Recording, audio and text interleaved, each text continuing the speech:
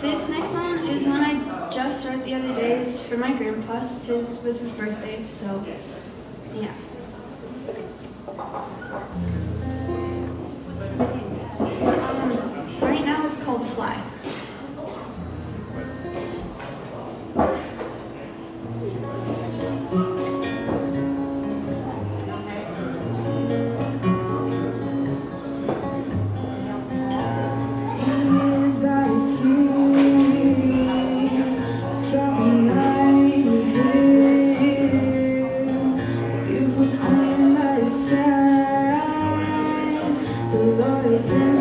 Stand.